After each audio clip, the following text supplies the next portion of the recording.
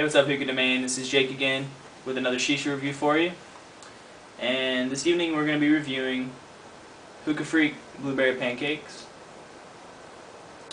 This was sent to us uh, courtesy of Sahara Smoke Company uh, as, as, well as Hookah Freak.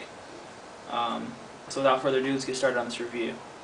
The cut on the Shisha is your standard Hookah Freak cut. It looks very dry, um, very fine cut, but it is very cold and very damp to the touch. The smell smells like if you're opening a box of blueberry um, pancake batter. Definitely smells um, very delicious. At first, the first time I smelled this and tried it, I wasn't very uh, impressed with it, but the more I smoke it, the more I, I come to like it. When you first get the um, the tobacco going, you definitely smell or taste the, the blueberry pancake batter, um, and that's basically all you taste is just the blueberry pancake batter. Um, but the more you smoke it, the more the, the blueberry taste comes out, and it, it's actually very delicious.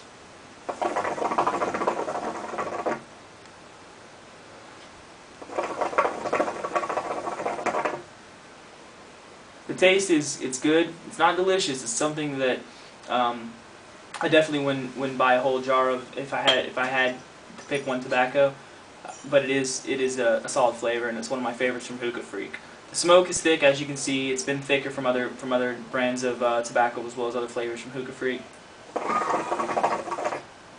But nonetheless, it is pretty nice. On a scale of 1 to 10, I would give the Blueberry Pancakes an 8.5 out of 10. It's up there with some of my favorite flavors of Hookah Freak. Until next time, this has been Jake with hookahdomain.com, and you guys keep smoking.